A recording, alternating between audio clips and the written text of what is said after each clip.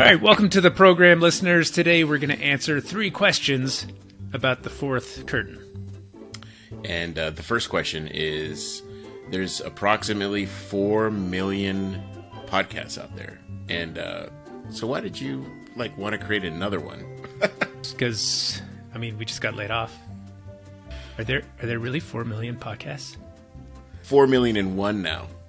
Uh, the truth is, we wanted to share some of the crazy, interesting stories from our game developer pals. All right, question number two: Who do you think would be interested in listening to the fourth curtain? Your mom? Did I tell you my mom was the number one subscriber to my YouTube channel? I think she was the first one. It was really I would hope so. I would hope so.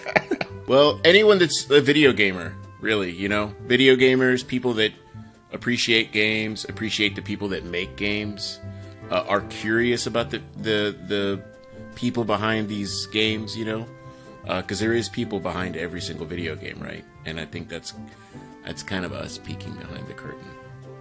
So, last question: uh, Where and when can we listen to the Fourth Curtain podcast?